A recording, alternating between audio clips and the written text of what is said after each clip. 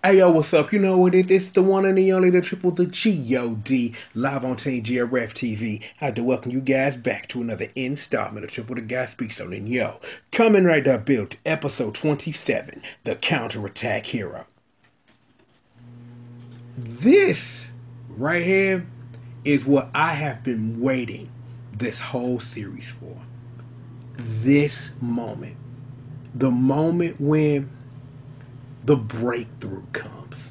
When that wall is shattered and there is nothing, and I mean nothing, but the infinite potential beyond the wall that has just been destroyed. But before we get to that wall, though, we've got something else we got to handle. Juggernaut bitch took a L. And it wasn't that Juggernaut bitch took an L because the plot needed him to take an L, which it actually did, you know what I'm saying, just to make sure that my English is correct, is why he took an L. In war, you have to be able to do whatever it takes. I'm not sitting up here saying my boy Banjo Ryuga hasn't been doing what it takes as a friend to Sento his responsibility as a Kamen Rider and everything that goes with that. But again, like I said, the plot needed him to give it away so that we get to what our episode is. But even given that, it shows that even in war, that Banjo's got a heart. And as a hero, that's not something you ever want to lose because losing your heart means losing your way, and losing your way leads to a whole bunch of things no one wants to deal with. Is that in this fight, we got a lot of things. One of the most important things I feel that we got, you know what I'm saying, other than, you know, building up that, yo, Banjo's not a complete heartless psycho who just wants to run around punching things, shaking a dragon bottle, is there was a nice little flashback between him and me Metan the Stand about why. Why do you do what it is you do? Me time like, yo, I am me time the stand. I fight for all the stands of me time. But but seriously though, my friends lost their lives in this war. They family sitting up here taking nails because of this war. And all I want to do is fight back to give back what was taken from them. And that's fair. Very fair. Given that everything he's gone through and everything he's had to lose to get to the face turn that we appreciate as me time to sign. Fair enough. Of course, you got you got the juggernaut, bitch. You know what I'm saying? And his whole thing is wrapped up in his friendship with Sento and Misora and all that they've been through together as a family because we know the story. At first, for Banjo, this was nothing.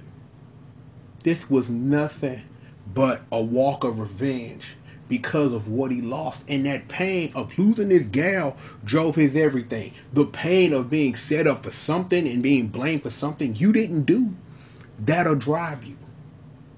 But understanding that even though people are gone, what they want for you never leaves. And that was the start of Banjo's walk towards something a lot more positive. This being fueled with his friendship with his best friend of there's a lot that Sento goes through. As a man who was identified as one man, who was truly somebody else, and walking around with all the sins of his past, and we'll get more into that a little bit later. The thing is, what's important here is that every now and then, even though you know the answer, sometimes it's good for the sake of the story to be reminded of exactly why someone does a thing. And that flashback was great for why somebody done the thing. Even though Banjo Ryuga took that L because Hell Bros was like, man, they got my brother hemmed up. And then just took the L on purpose. And again, for the umpteenth time, let me just repeatedly explain. For the sake of plot, the L had to be taken. For the sake of continuing to humanize Banjo Ryuga as a character, even though that's not something at this juncture you really need to do. Yo, kids got a heart. And as this war gets deeper and deeper and deeper into the trenches, you gonna need that kind of light shining through. Because it's going to be that which is going to bring his friends back from the brink. His his never his never say die attitude, his never stopping for wanting to end the war and wanting to end the pain and suffering of others. And that's fair. So, with all that explanation out the way, our current score is one to one. And here we are, right now, the final bout. Kamen Rider Build versus Kamen Rider Rogue. Henshin up, transform, and let's kind of fight, but not fight in the fisticuffs way. Because a lot of what led up to the what's the word I'm looking for here? The climax of our episode was a lot of the battle of the mind. You got you got Dark Alucard over here reminding Sento of who you used to be. The ghost you've been chasing ever since you understood, realized, found out the truth, and accepted the truth of who it was I used to be this is where I step in, and we are going to have like a real moment right now. This is just a real moment because it's been a while since we've had one of these real moments, and a show has presented me with the opportunity to have a real moment with you guys. You want to know something about me? My goal every day is to be a different man and a better man than I was yesterday.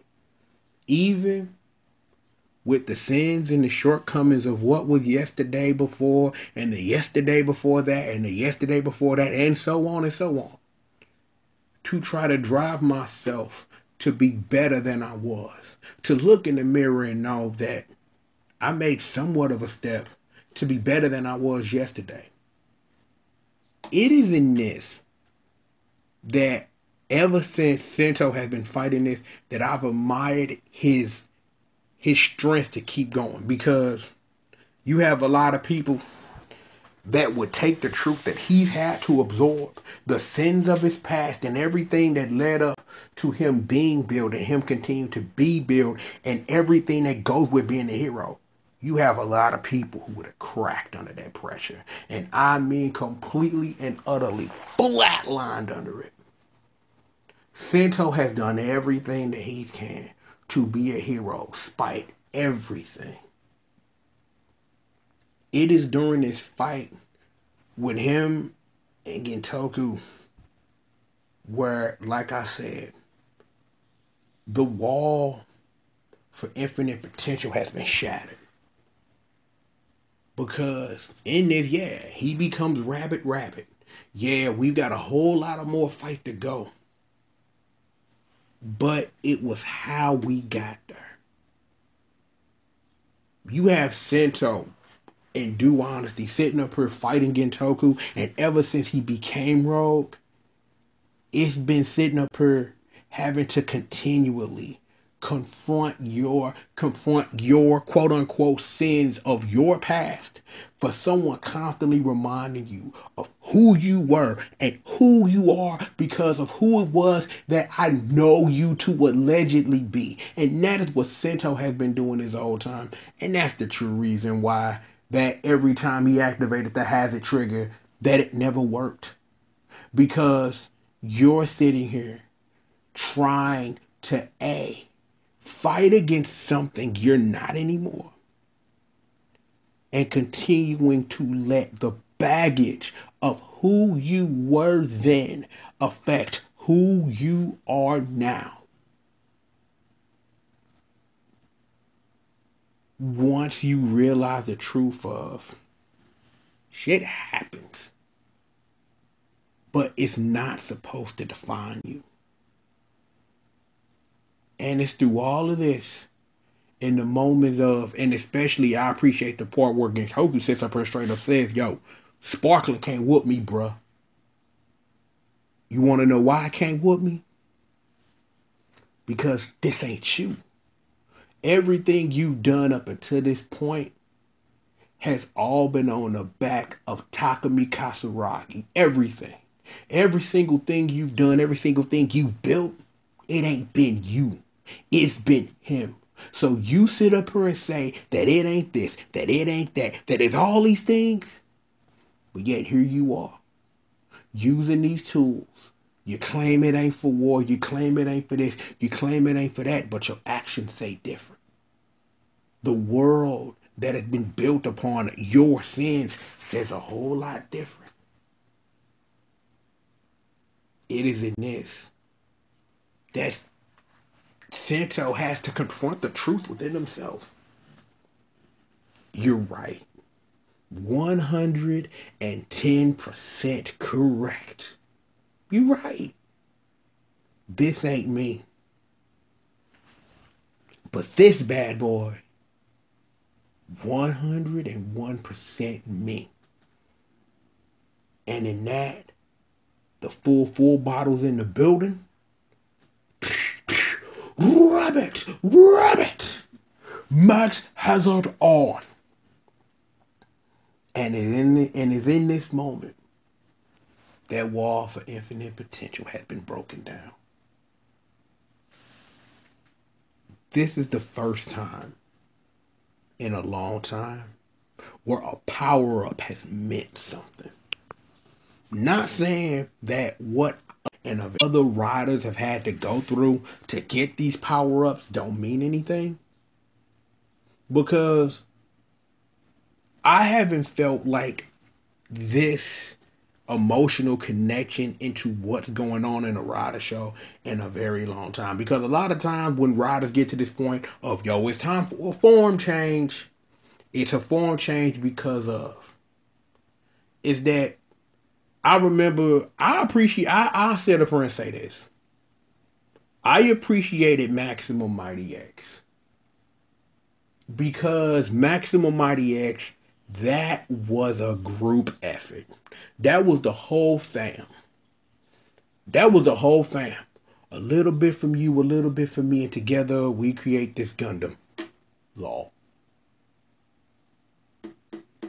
This though because we all have been this emotional thing with Sento Kiryu as he's grown up, as he understands that, yo, this is who I was way before there was a me. This is me going forward. And that's what Rabbit Rabbit and ultimately Tank Tank represent. The wall of infinite potential because you've cast away the sins of yesterday. And there's nothing but today to move forward to. You gotta love that. I know that this review wasn't my usual clown on them fare, but I really wanted this review to really represent how I felt and how I feel about this show this show, I'm invested in it a lot more emotionally than I have been in past Rider seasons. And I don't know whether that's because I feel that as a character that Sento Kiryu is a kindred spirit. Because I've gone through a lot of that identity crisis of who it is that you are versus who it is you want to be and what you'll do to reach out to who you want to be because you want to be a better you. And that's been Sento Kiryu's fight this whole series so far. Is sometimes we are in fights we have no idea we're even a part of that a lot of times we as people we do things and it's not even a thing of considering the consequences and how it affects others because a lot of times you do things for the sake of survival. And I'll be the first one to admit that, yeah, I've done things in this life that I am not 101% proud of. But they are me, but they don't define who I am. And I think really that's why I find a kindred spirit in Sento because of who of who Takaru Kazumaki was as a man. They labeled him as a as a devil scientist. But we see through flashbacks of that the sacrifices that I'm willing to make that yo, he said in the episode, I'm willing to sell my own soul and do whatever it takes for a better tomorrow in the way and in the eyes in which I see and perceive it. I'm the same way. I am 101% the same way. That a lot of times the sacrifice is indeed worth the price. And I'm just being honest. You're on a channel where I've had to make those sacrifices in order to bring you a product that yeah everybody who watched this probably watched that video i put up about what's going on with me. I lost a little bit of time but i'm in the mix. Like i know that yeah i'm episodes behind and so what I watch this show. I love this show. I enjoy this show. And I enjoy getting on the microphone to review it. So I do it because that's the sacrifice you make because one of the sacrifices that I've had to make is I have to watch the show differently than I would if I was just watching it to enjoy it. But I watch it because I know I have to review it. So I have to sit a little bit of my actual enjoyment to the side so that I can pay attention a little bit more, so that I can see it from different ways while I'm watching it. Because not only am I wanting to enjoy the show, but I need to take the show and be able to dichotomize the show into something that turns into one of these videos. So, hey, it is what it is. I will say this again. I 101% appreciate the growth that Sento has gone through to get to Rabbit Rabbit. And I've been on this journey with him and I've enjoyed myself, and I know I will. I know we got Tank Tank. I don't know how much Tank Tank is going to be different than Rabbit Rabbit because the emotional breakthrough has happened. We can get back to normal clowning again next episode. Because again, like I said, this episode right here was a little bit emotional for me because of how the episode resonated. And every now and then you get that that you watch a piece of media and it just resonates with you in a way that you appreciate. And I'm glad and appreciate and I'm thankful and I'm blessed to have the opportunity to say this was an episode that resonated with me because the character in this show resonates with me as a person. And that's what you want. That's what I need. That's why I love watching this show because I enjoy watching the growth of these characters that I love and appreciate, and that I know you guys do too. I want to see how this fight is going to end because it ends one or two ways. Either Tank Tank is going to bring down that boy Gentoku Himuro, leader, former leader of the Gray Squad, aka Kamen Rider Rogue, aka Dark Black Alucard. Or Sento is going to be triumphant, but if Sento's triumphant and Sato loses the war, then what's next for the show? Questions. Questions, questions, questions. Thank you, Rider Bill, for being an amazing show. I appreciate Sento Kiryu, Ryuga Banjo, and even Swimming Pools for being great characters. You know what I'm saying? That yeah. Even though that I mentioned like how much emotional this episode was, if you thought I forgot, that boy look, look, and I mean look, Japanese big worm sitting up here, and you got Sawa stealing the the superpowers and all that. Japanese big worm, this dude's crazy. He's sitting up here eating fish. Like, don't let me down, son. Like Chalky Studebaker, daddy all Doug. oh, you really thought I didn't was gonna have some jokes? You crazy as hell. Yo, this episode was off the chain.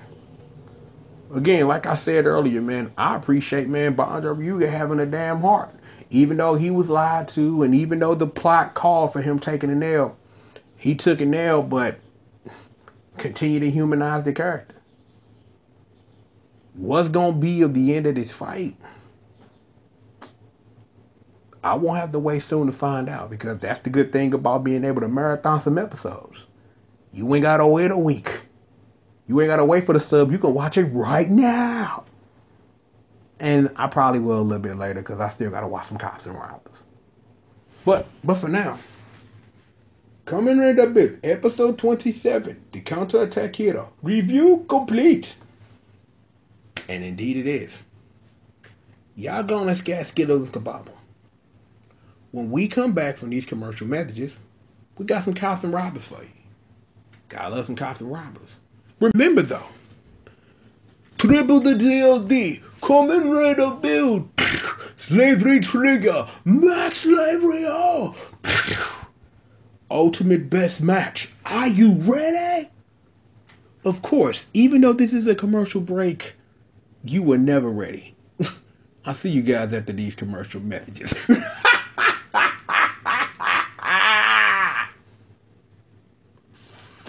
Break!